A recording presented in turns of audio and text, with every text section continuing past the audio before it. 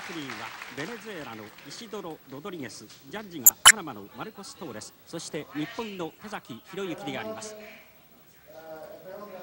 レフリーのロドリゲスは50年の12月に島袋がエスタバに挑戦いたしました世界ジュニアフライ級タイトルマッチのジャッジを務めたことがありますが今晩が世界タイトルマッチのレフリーは21回目だそうであります。今晩の試合は WBA 並びに JBC ルールに従って行うことになっております。グローブはメキシコ製の8オンスそして採点は10点法であります。1ラウンド中に有効打による3回のダウンがあった場合は試合は移動的に停止され勝ったボクサーにノックアウト勝ちを宣言することになっております。さあ第1ラウンドが始まりますが、まあ、あの八内さんロイヤル小林はですね、はい徐々に徐々にボディを攻めていって、えー、後半勝負したいと言ってましたね,、えー、ねまあ確かにそうですね、まあ、動きを止めるということですよね。パナマは90%以上がカトリック教徒でありますがカトリック信者のペドロサ10秒切ってさあ第1ラウンドが始まりました。有馬さんまずこのペドロサですがね、はい、今出した左ですね。この左を小林が食わないようにしなきゃいけないですね。そうですね。やはりきっかけこれを殺すことですね。きっかけをつかませないということですね。それにはやはり左ですね。よく有馬さんがあの現役時代やったように鳥を追うように相手をコーナーに詰めなきゃいけないわけですね。そして上体を動かしてねもう無駄な動きをするようなつもりでいかないと今日はほとんど勝つ可能性はないと私は思います。うんと無駄な動きをしていかないと。それだけスタミナをつけたんだから絶対大丈夫なんですまあ、八内さん、パンチ力はね、えー、スパーリングパートナーの友成に聞きますと、えー、小林さんのパンチというのは、えー、どちらかというと重いと、それからペドロさんの方はこう痛いパンチだというふうに言ってましたよね。えー、まあ、あのスピードパンチですからね、小林君のは重いパンチですからね、その辺が違うと思うんですよ、それとね、あの左を盛んに出してますね、この左を出された時ね、小林君ね、右のクロスを狙うことですよ、僕はこれ一番いいんじゃないかなと思うんですけどね。左を出して動いております。チャンピオンのペドロサ。エスコルピオ。この左が非常に鋭く素早いのでパナマではエスコビエスコルピオサソリという意味を持っております。やはりさすがに和島さんチャンピオンよく動きますね、はい、もうそれで慎重ですね。慎重ですね。もう1ラウンドだからまあ見ようなんていうところは全くないですね、はい、相手の癖をそぐんだというそういうチャンピオンらしいあの考えですね一方の小林ですがあの練習を見てますとね非常によく左を出してしかも状態をよく動かして中へ中へうまく入ってきましたもんね、しかしねまあまあパートナーが違ったからと思いますけどね、はい、まあもっと接近しておりましてね、えー、やはりあのように接近していないとダメですね小林君の持ち味がないですから。うまくコーナーコーナー四隅へ持っていくことですよね。まあ、しかしそのコーナーへ詰めるまでがね大変ですねこのねコーナーへ詰めて回るときね、はい、回る方の手を打てばいいわけですよ。左回ろうとしたら右から右から回ろうとしたら左からというような攻め方をすればね自然とコーナーに詰めていかれるんですけどね。小林の左に当たりました。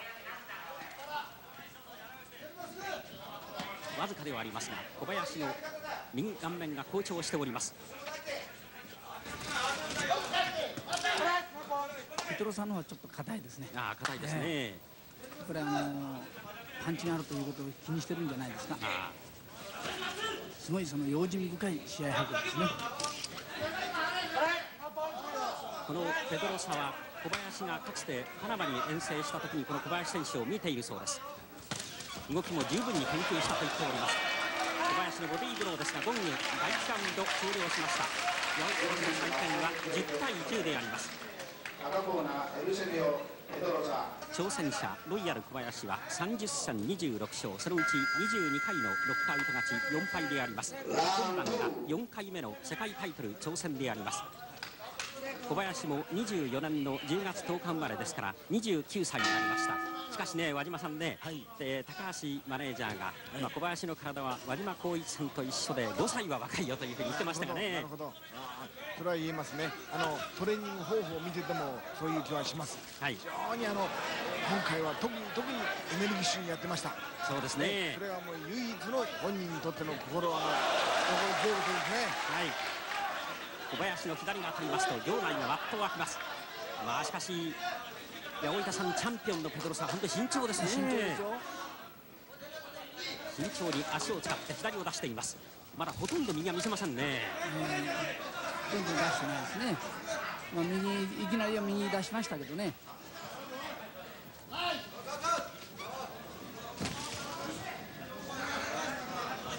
とにかくリーチ差は13センチありますまあ、拳一つほど違うわけでありますが小林がいかにして相手の射程に入るかインファイトに持ち込めるかというのが焦点です。いきなり右を送りましたペドロサです。左で小林の右を抱えました。ホールドという声が起こっています。まあ、パンチ力は和島さんはるかに小林の方があるわけですね、はい、それはもう問題ないと思います。しかしあのリーチあのリーチをかいくぐってパンチを打たなきゃいけないということをよくあの皆さんも見ておいてほしいと思います。だからこそ小林君の動きが状態の動き頭が必要なんですね。いかにパンチを自分のパンチを当てるかということなんです矢内さん小林の動きはどうですか、あの悪くないですよ。もう少し僕はね顎を引いてもいいんじゃないかなと思いますね。はい、うん僕にホールドしてますね。ホールドしますね。右で小林君の腕を抱えてますからね。はい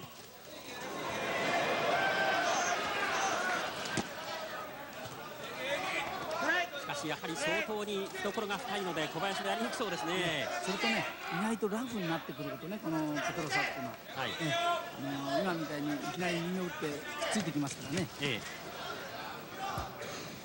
有馬さんこのペドロさんの警戒するパンチというのはどういうふうにここまで？ペドロさんの警戒するパンチはですか、はい。あのですね案外あの右をねぐーっと伸ばしてきますね。ええ。あの体ごと打ってくるやつ。これは案外強く打つんじゃないんですか、えー僕ね案外あれ怖いなと思ってます。あーそうのですか。えー様子を伺うとプラスアルファねあの相手が出てくることを狙うかもしれませんね。はい。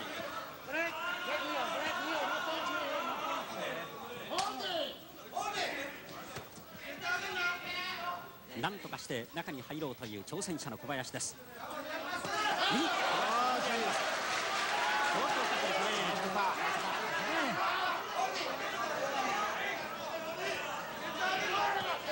場内からも小林ボディという声が飛んでいますが第2ラウンド終了しました。八百さんの回転第2ラウンドも10対10であります。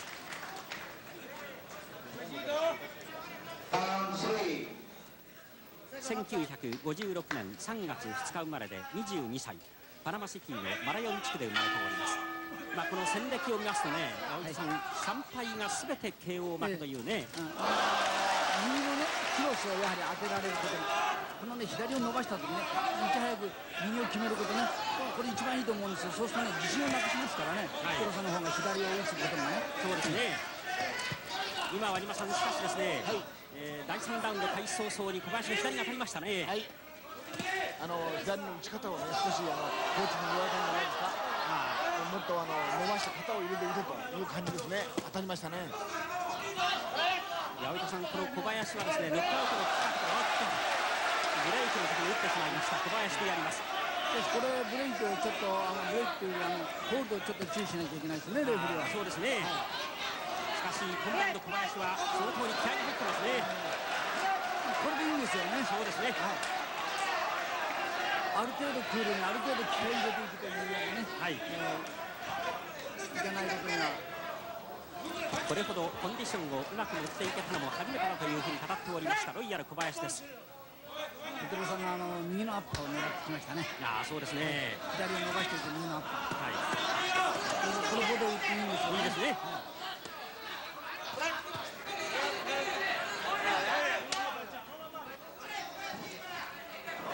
割りましたいきなりペドロサーの右から行くケースが多いですね。あれでもってね相手の打ち気を誘ってるんですね。さすがチャンピオンですね。はい。またクリーンしてやります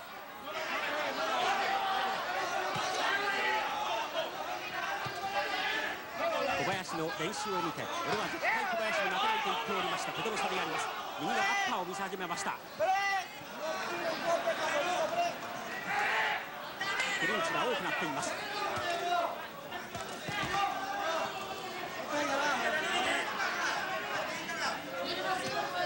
このラウンドはちょっとペドラサもそう足をつかないですね、え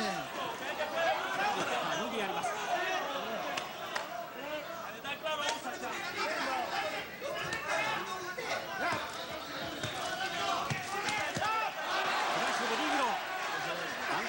っていますペドロサ山内さんしかしスピードありますねありますよね。小林君ボディ気をつけないけないでしょ、はい、ガード上げてますからね、えー、ボディのアッパー右アッパーきますからね。レフリーのロドリゲスが両者分けました。右のボディーブロー。右のボディーブローです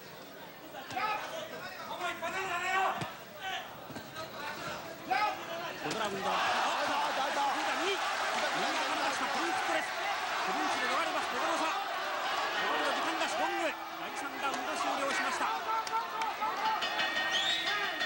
ゴングがちょっと聞こえませんでした八百さんの3点第3ラウンド10対10と互角でやりますさあこれから第4ラウンドです。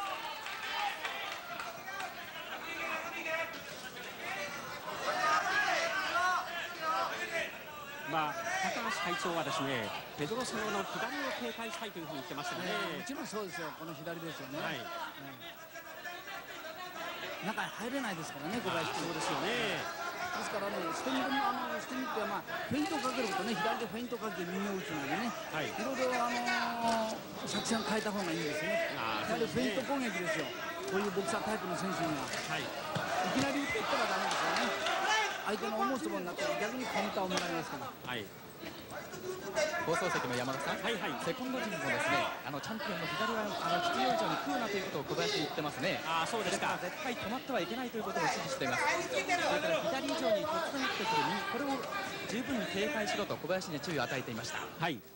あ相当に和島さん小林腹地が出ましたね。そうですね。左を当てて腹地が出ていますが左のボディーブローを食いました小林ですでもこの小林の勇気はいいですね。いいですね、はい、少々打たれるのはしょうがないんだからもうボンボンいかなきゃいかんですね。はい。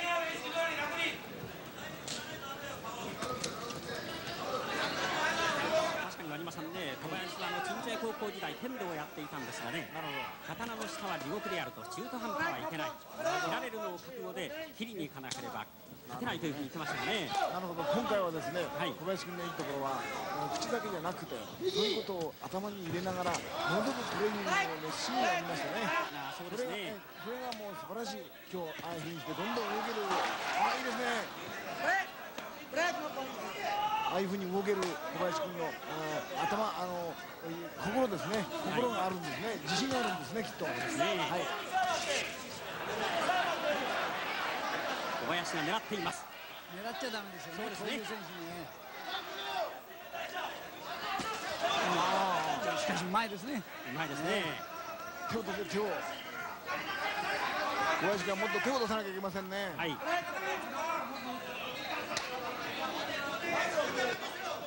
しかし割島さんこれでねあんと今ミラーパーを見せました。チャンピオンのペドロサ。ペドロサの足が止まると面白いんですよね、はい、止めるためにはどうしたらいいか手を出さなきゃダメです。あそういうことですね、はい。棒でも棒でもそうですけども顔面もそうなんですよ。やっぱり打たれると足が手が止まります相手の、はい、考えますから。考える暇を与えない。そんな感じでいかなきゃいけませんね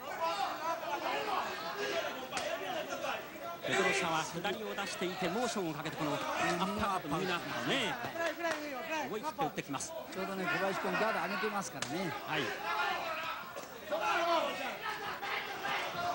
うこれ以上はできないというほど十分に練習を積んでまいりましたロイヤル小林です。ロング第4ラウンド終了しました。八百さんの採点は第4ラウンド初めて差がつきました。10対9チャンピオンのペドロサです。福井さん？はいはい、えー、ペドロサですがねあのセコンド陣は今のところ抱きつくな離れと。とそれからソロから外から打っていけ。それからライフルのようなパンチを打っていけと。もう終わったみ,、えー、みたいなようなもんだと。そういったようなこと言ってますね。あ相当に自信満々ですね八木さんね、そうですね。それと小林君がねやはり手数を出してこないということでねペドロはあの助けられてますからね。小林君もう少しねあの細かくちょこちょこちょこちょこでいいんですよ。その中にねパーンって入れればいいんですからね、はい。えー、そういうパンチを出してもらいたいですね。ただダッキングウィービングだけではダメですよね。それは小林選手も言ってましてね、ねまあ、とにかく細かく細かくパンチを出あして。の強化練習で見せたでしょ、ええ。ちょっとダックしてパンパンって打ってましたね、はい。ああいうものが欲しいわけですよね、ああそうですね、はい、ダックしてああよかったなっていうだけじゃなくねダックしたらすぐ攻撃に結びつけるということね。はい。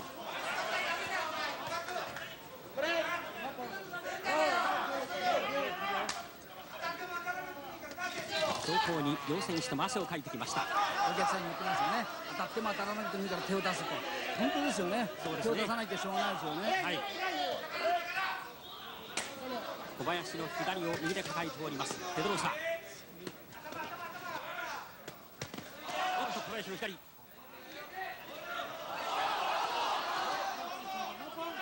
和島さんか、まあ、打たれ弱いというのはチャンピオンもこれは意識してるでしょうね。これはねでもこのクラスになったらもうあの打たれ弱いというよりも強いパンチを受けたらということだと思いますねああそうですねやっぱり小林君もそんな強くないですよはい。はいそうそうこれでいいんですよねね、ええこのこれボディーブローでやります。小林は盛んにボディーを狙っています。足を止めての打ち合いです。左のボディーブロー。いいボディーです。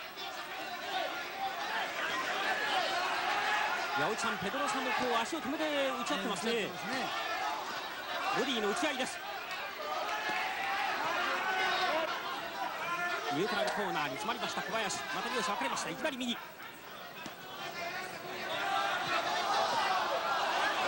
あ、パナマの選手はね、八百さん、非常にリズム感のいい選手が多いんですよね。はいはいそうですね今日あたりなんかラフになってきましたねラフになってきましたね。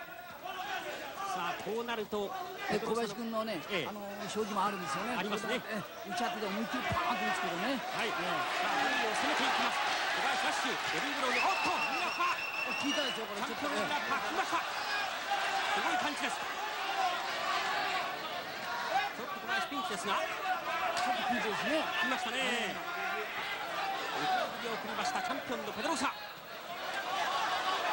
しいボディの打ち合いです。ペドロサも打ち合っています。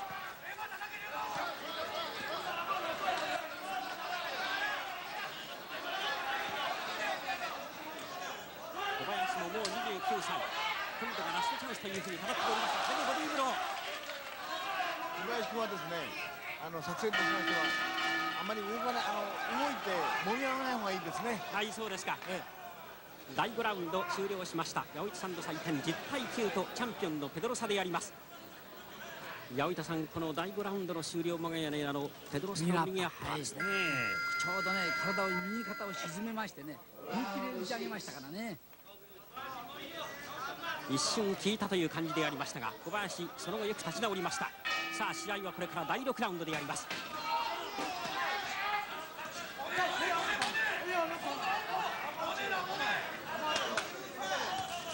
リーチもあります懐の深い選手ですペドロサ素早い左を出しています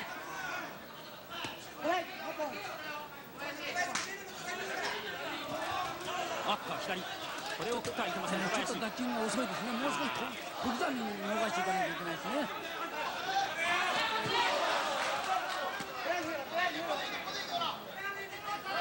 すぐクリンチされますからね。クリンチされてもあのレフェリーがブレーキかけるまでね打って構わないんですからね。そうですね。今晩の小林は素晴らしい投手であります。あっと左は大振り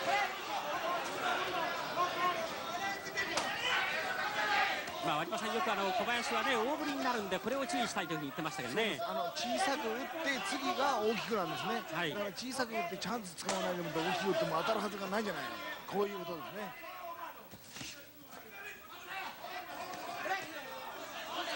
今のでいいんですよね。ああいう油断してはいけないですね、小林君ね。ええ。おっとまたボディを切りました。小林。盛んに右のボディーブローを切っています。チャンピオン。ああやってまた右のボディーブロー。今みたいにやったら完全にアッパー食いますからね。ええまたボディー左に打った。さあ小林攻めていきます。やっぱりうまいですね。体回して打ちますね。ああそうですね。ほら、右へ右へ開いて左アッパー打つでしょ？はい。うまいですよ。あっと右アッパー左を思い切って打ってきます。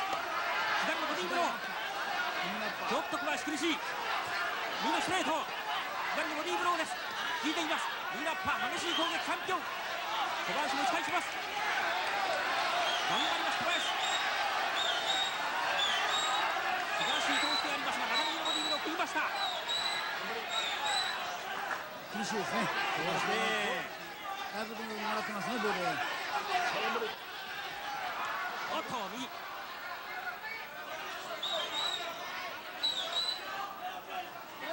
山さん小林もしかし相当ちょっとボディに食いましたね。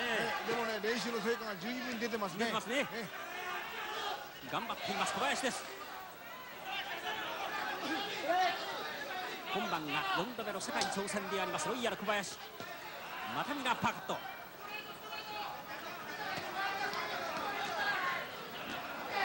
小林も今度は右を突き上げています。左のフック。腕と肩で持って相手の顔を押し上げといてアッパー打ちますね。あそうですね。ゴングです第6ラウンド終了。このラウンド10対9このラウンドもチャンピオンのペドロサが取りました。えーご覧のエウセビオ・ペドロサは、えーアマチュアのキャリアも持っております。24戦23勝。そのうち5回のノックアウト勝ち。1敗です。えー10歳からボクシングを始めまして17歳の時1973年にプロに転向しております。小林よりも10ヶ月後1973年の12月1日にプロデビューしております。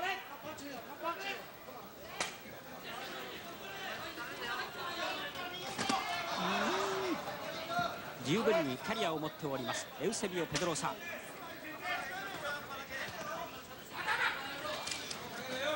1976年の4月アルコンソ・サムラの持つ世界バンタム級タイトルに挑戦しましたがこの時は4ラウンドノックアウトで敗れております。しかしその後フェザー級に転向いたしましてえ去年の4月スペインのセヒオ・ラストラを13ラウンドテクニカルノックアウトに破りまして世界チャンピオンになっております。今晩が3度目の防衛戦のペドロサ。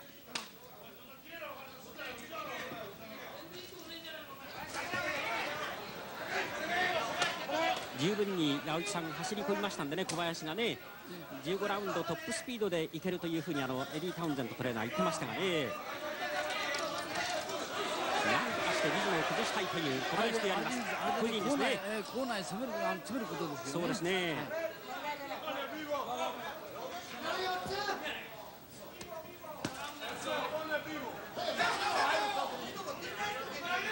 ね、しかし今のアップの時ね左にフック打てば一番いいんですけどね怖いんですよねあれがね右のアップが来るんじゃないかなと思うしね。なかなかその時左にフック打つというのは非常に難しいんですよね。はい。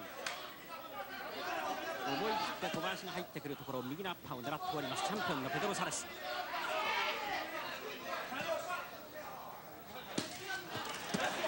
左のボディーブロー小林。もう少し頭を下げてねボディを攻撃してもいいんじゃないですかね、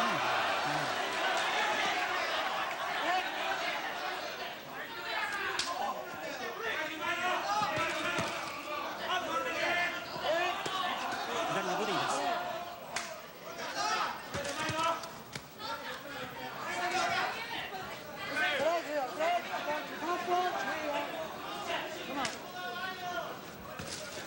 和島さんもあのかつてねマット・ドノバンという大変背の高い選手をあのノックアウトで破りましたけれどねね。そうでしたね。あのやっぱり大きい選手やるときは何が何でも入るっていうんじゃなくて打たしておいて打つとあの相手があ打ちやすいところに行くことですね。そしてそれを避けて打つというよりしょうがないですね。ドロップパンチが出ています。小林。回転コーナーに詰まっていますあっとバッティングですおっと左右のストレートを食いました左のボディを切っています小林。離れましちゃいけないんですね。そうですね。マイナスですよ小林君にとっては第7ラウンドしかしもうほとんど時間がありません。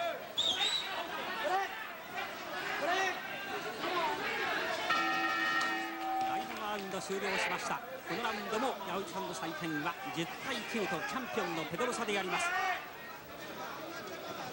八百板さん4ラウンドから7ラウンドまでちょっとチャンピオンのペースに一方的になってますね、えーそうですね.あの打ち合いに入ったらもう必ず小林君を手出すことですよね。一緒に。で離れたら絶対もう小林君手出さないですからね。さあ頑張ってほしい小林です。いきなり右を送りました。第8ラウンドに入っています。あれをねいきなり打つんだったらどっちかねフェイントかけていくとかね、はい。えちょっと変えた方がいいですねさ作戦をまあ和島さんね、小林はノックアウトをするときにはタイガーの左できっかけをつかむんですよね。ねあのでもですねあの今日のこの相手はやっぱりあのチャンピオンの当たるパンチが当たるところ行かないとダメですね。あ当たるところ行かないことには自分のパンチが当たらないということですから。あそうですね。あんまりついてしまうとね逆に相手にあのアッパー感覚が振っちゃいますから。はい。勇気を持って少し離れて動いた方がいいですね。もう少し状態の譲りがないとパンチが打てないしまた来ても避けられないということですね。すぐパンチを打ってもすぐついてしまいます。依然としてあっと右から左を食いました小林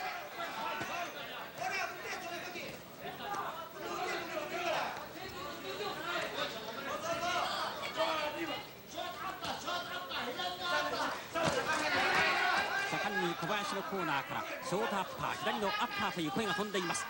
今ちょっとアッパーを見せましたが空振りです。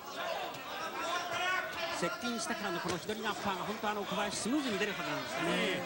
これをねちょっとあの打つ方の肩をちょっと沈めるかなんかにしてね、はい。思いっきり突き上げるとかねあの片っぽの反対の肩でもって押すとかねいろいろ変えたらいいですよね。この辺ペトロさんうまいですよ。うまいですね。アップして片っぽどっちかで押さえといてすぐ右が欲しいですねそうですね一瞬グラッとしましたチャンピオン小林の強烈なスイングが当たりました小林のボディーブローです。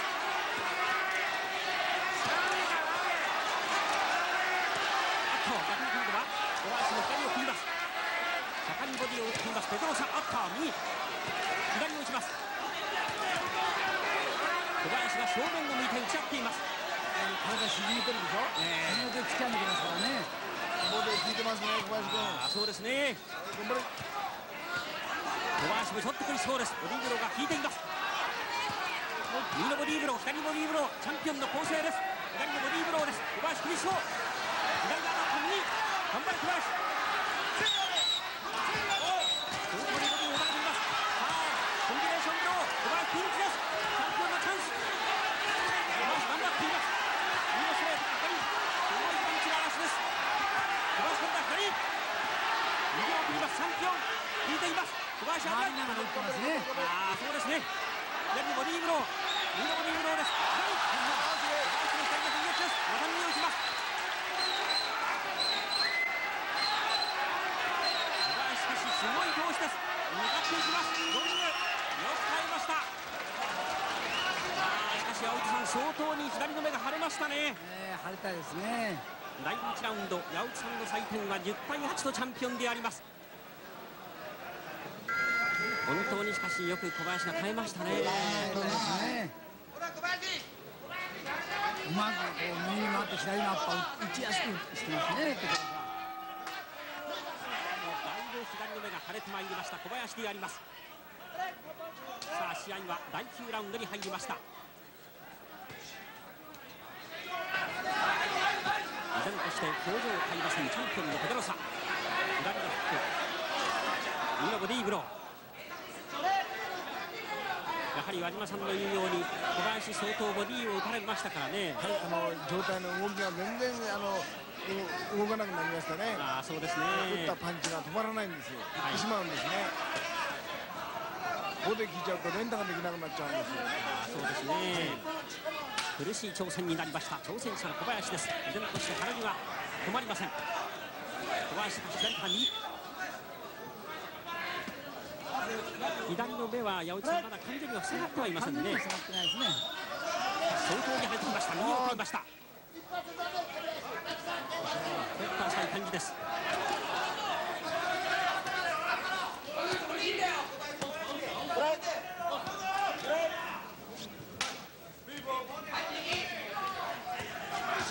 なんとかして突破口を開いてほしい。挑戦者のロイヤル小林。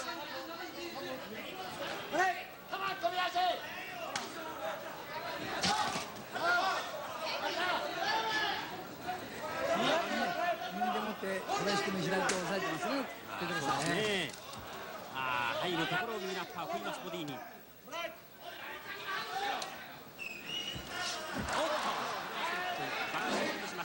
ちょっと舌を出しましたロイヤルです今晩もご両親が観戦に来ています。はい狙いすぎますね。あそうですね。い。い。ですよねい。い。ですね小林が左でやりますこれフリーズされてるのはダメなんですよねその後が欲しい。ですねパンチが単発に終わってしまい。ます小林ですボディーブローそうですねルディンですそれから優位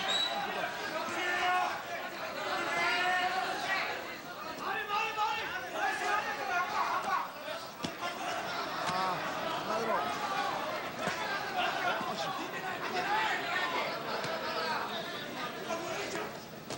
先ほども和島さんそのボディーブローってこの後上に欲しいですよね。そうですね。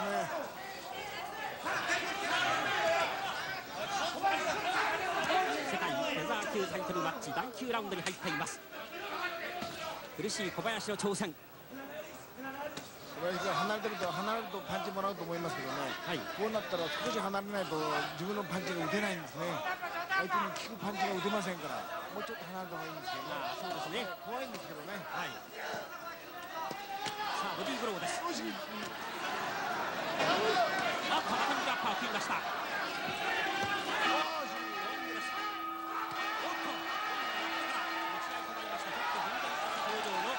両選手であります9ラウンドヤウさんの採点は10対10であります八百さん意外とこのチャンピオンは接近戦もうまいですね。そのラフな戦いというのはうまいですね。あのそれとねラフな戦いの真正面からばっかりじゃなくてサイドサイド動きながら打ってますね。だからあまりもらわないんじゃないですかね。さあ試合は第10ラウンドであります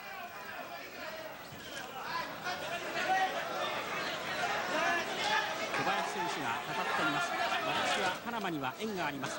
昭和51年の1月にパナマに渡りまして2ヶ月半滞在したことがあります。その時15人ぐらいの選手とスパーリングをしたそうですがあるいはペドロサとやったかもしれませんというふうに小林語っておりました。WBC のジュニアフェザー級のチャンピオンになったのもパナマのリゴベルト・リアスコからであります。非常にいいコンディションで今晩のリングに臨んでおります。挑戦者の小林です。しかし試合内容としてはチャンピオンが有利という展開で試合は10ラウンドに入っています。10ラウンド終わり間にはちょっと両選手エキサイトするシーンもありましたが。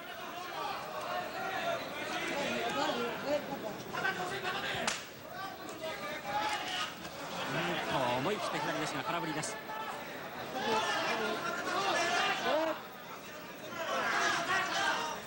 左のボディーブロー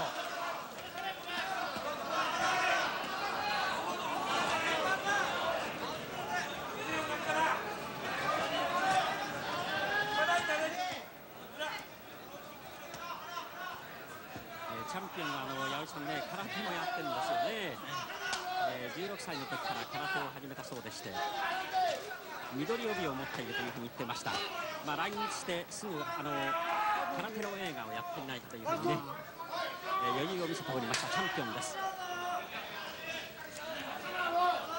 おっと右のボディーブロー。小林がなかなか和島さんきっかけつかめませんね。はいあのやっぱりついてしまうとどうしても背の大きさが違いますから上からかぶせられてしまいますね。かといって中間距離に言うと打たれますからやはり体を振って振って相手に打たせ打つよりしょうがないんですね。はい。左を得意のパンチを送ります小林ですがこれは空を切っています今回チャンピオン遊んでますね。ああそうですね、完全に休んでますよね。このラウンドはちょっとチャンピオン休んでいます。第10ラウンドです。リング上でサルサというダンスを踊るんだというチャンピオンのペドロサでやりますがこのラウンドはまた足を使い始めました。小林がもっと体振らなきゃいけません。そうですね。動き始めましたこれでね右を引っ掛けるんですよね小林君ね。ああそうですね。ええ。それより他ないですよね、こういうことやられたら。10ラウンドちょっと余裕を持って足を使い始めました。ペドロサでやりますが10ラウンド八百さんの採点は10対10と互角でやります、えーご覧のように美佐子日本ボクシング協会の会長も、えー、今日は会添いとしてこの小林のコーナーについております。さあ試合は11ラウンドです。もうのしかかった方がいいんですよ。もうスタミナをなくすことでね相手の下へ来たらもうのしかかるしかし和島さんこのままの展開でいきますとね小林が倒せないとちょっと勝てないとなってきましたね。そうです。やっぱり向こうも力をためてるってことは倒してやろうと思ってるんですね。ですから10回11回力をためて12回にとかそういう考えを持っているようですね。あの動きから見るとそれを小林君は休もうとしてる時に攻めなきゃいけないんですね。そうですね、はい。チャンピオンのペドロサは去年の7月2日エルネスト・エレラ。そして11月27日サンファンでエンリケ・ソリスをいずれも退けまして今晩が3度目のタイトル防衛戦であります。いやいやというように首を振りました。仲間を注意されました挑戦者の小林ですなかなかきっかけをつかめません。ボ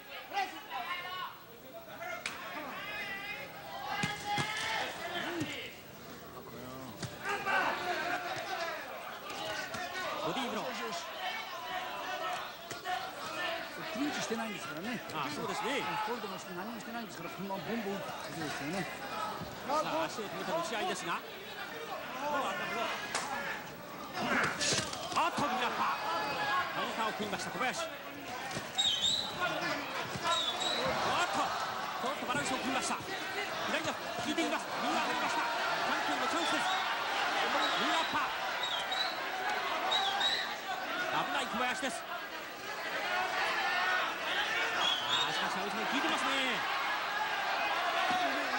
左ボディーブロー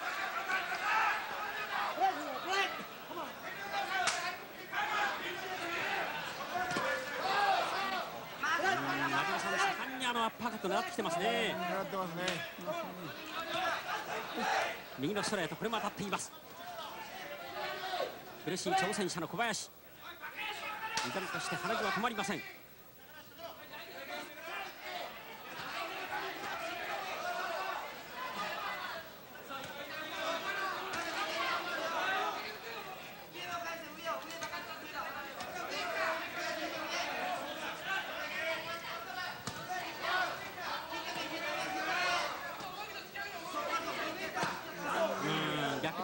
を切っています。おっと左チャンピオンの左のフックです左ボディーブロー。小林の左に打ちますが。ああ右のストレート。小林の左打たれても打ち返します。頑張ります小林。逃げ逃げボディーブローですがゴング。11ラウンド終了。このラウンド八百さんの採点10対9とチャンピオンであります。え、11ラウンドの2分40秒あたりでやりますがこれも左のすごいパンチを切りましたね。コーナーに詰めておいて突き上げるような右のアッパーカット。自信満々のいうという表情のチャンピオンのペドロサであります。さあしかしあと残りの4ラウンド小林頑張ってほしいと思います。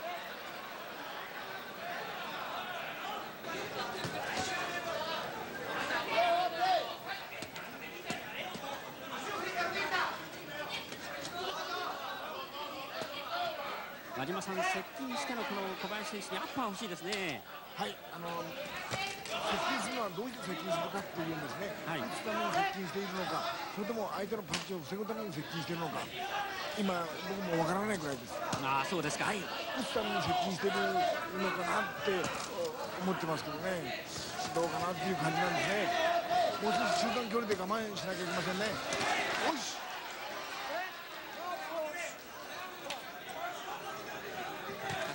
このチャンピオンの動きは衰えませんね。衰えないですね。勝てない動きはなくなりましたね。山田さん、はいはい。えっとチャンピオンコーナーですが、あの赤コーナーの下にですね、ちょうどあの私の後ろに当たるんですが、あのペドロさんのロサマリアさん、奥さんですね。とあのパナマ大使の奥さんが一緒に観戦してるんですけども、まあ、しばしば笑顔で話し合いながら非常にリラックスしておりましてね奥さんの方もかなり余裕を持った観戦を続けてますねああそうですかえー、2年前にそのロサマリアさんと結婚いたしました、えー、姉さん女房でありましてロサマリアさんの方は25歳になります。デュレイスカフェリー宣言ペトロサという6ヶ月なり娘さんにしましたとあ小林の右が当たります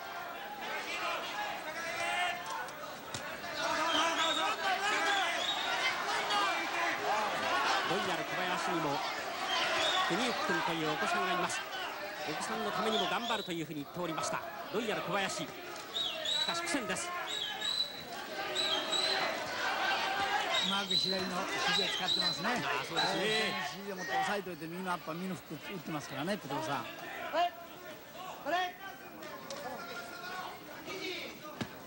ボディーブロー。左のボディーブローを送ります。チャンピオン相当にボディーを打たれています。小林。左。また左を切りました。小林の左右フック。チャンピオンの完全なペースです。あーっとまた左を切りました。強烈な左です。危ない小林。右のストレート。ああ左が食います。小林回り込みました。気力を振り絞っていますがかなり効いています。右のフック左。チャンピオンの左が当たっています。頑張ります小林。チャンピオンチャンス。頑張れ小林。小林の体を回して左。右ですがゴング。もゴングに救われました小林。12ラウンド八百さんの採点は10対8であります。体を回して打ったり本当にあの一方的に攻めまくりましたね。左に回って左右に回って左のアッパー右に回って左のアッパー左回って右のアッパーですかいろいろ角度を変えて打ってますね。頑張ってほしいロイヤル小林です。あと残りは3ラウンド13ラウンドに入りました。もう小林君は完全に玉砕戦法でいいわけですよね。そうですね。どんどん攻めなきゃダメですよね、はい。小林の右。ちょっとバランスを崩しました。ペトがですね、はい。ペトがパンチないと思ってますけどねあれはパンチないんじゃないんですよ。あれ小林君が頑張って頑張って頑張ってるんですよね。そうですね。素晴らしいことですね。はい。よく頑張ります小林。まあ確かに和島さんね、これやっぱり練習の賜物ですよね。ああもう絶対間違いありません。そうですね。これ以上はできないという練習を積んでまいりましたロイヤル小林です人事を尽くして天命を増すと語っておりました小林ですがよくペトロさんの強打に耐えています。また危ない。引いています。左が当たっています。完全に狙ってますよねペトロが。あそうですね。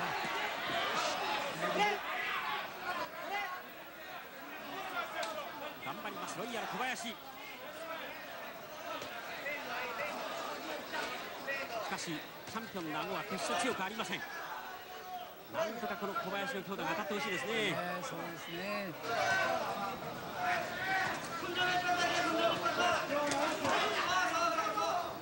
リーチがありますから和島さんがあの距離ではちょっと届きませんね。クロスカウンターをね。体を自分の胴体を使わないといけないんです。肩の周りを使って相手のあのリーチの短い分を肩でカバーしない。肩をこの体の長さですね。胴の長さでカバーせないかんですね。だから苦しいんですね。ボディーブローのチャンピオン。でもう左を振っています小林打たなきゃダメですよね小林はねそうですね打たなきゃダメですよし無料で合いましたがちょっと浅い感じです左を当てました苦しい小林です回れ。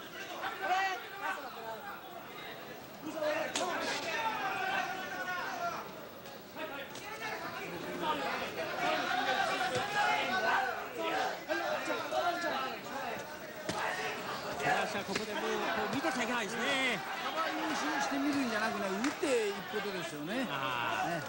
一緒に手出していって一か八かの勝負でいいわけですよね。あそうですね。こうやって来てる時は相手のあの隙間あるんですからね。はい。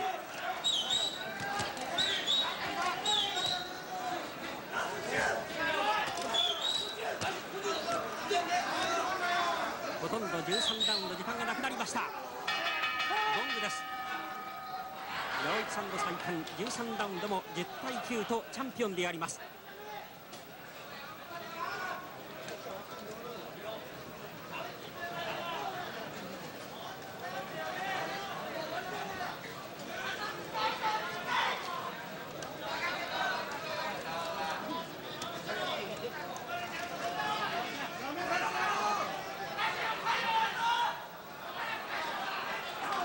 13ラウンド一方的に打ちまくられましたロイヤル小林です。